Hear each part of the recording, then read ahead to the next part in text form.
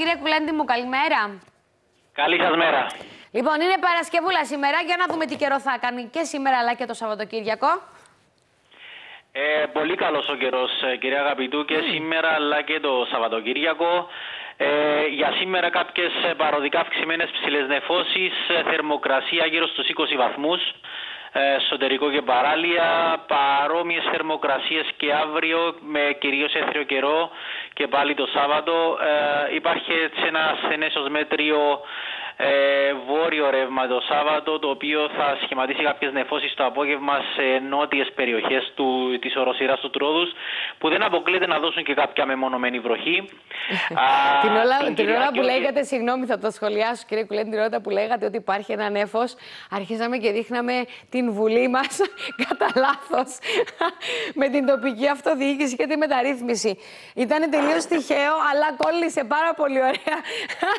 Πείτε μου συγγνώμη απολογούμε. Ναι.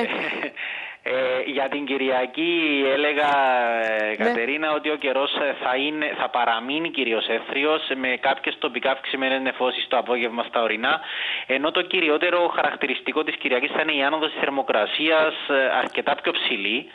Από τα δηλαδή; κανονικά, δηλαδή από τους 20-21, ίσως πάμε στους 23 με 24 στην Κυριακή.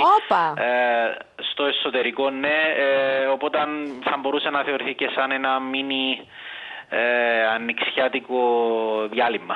Μάλιστα. Ωραίο, ωραίο, ωραίο. Μα, μεταξύ είμαστε τη άνοιξη εμείς, όπως και να το κάνουμε, κύριε Κουλέντη μου. Το ξέρουμε, το αντιλαμβανόμαστε είναι, το υπόλοιπο. Αντιλαμβάνεστε, είμαστε σε μεταβατικό στάδιο, είμαστε. οπότε θα έχουμε αυτά τα σκαμπανεβάσματα. Μάλιστα. Ε, τώρα για την Δευτέρα, ε, φαίνεται να υπάρχει ένα σύστημα χαμηλής πίεσης στον ευρύτερο ελλαδικό χώρο μεταξύ Κρήτης και Ρόδου.